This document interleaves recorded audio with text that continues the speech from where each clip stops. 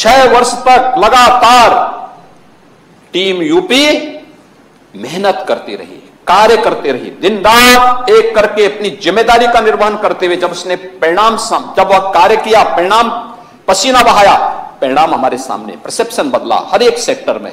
आज प्रदेश के पास बेहतर लॉ एंड ऑर्डर की स्थिति है। आज उत्तर प्रदेश के पास बेहतर कनेक्टिविटी है।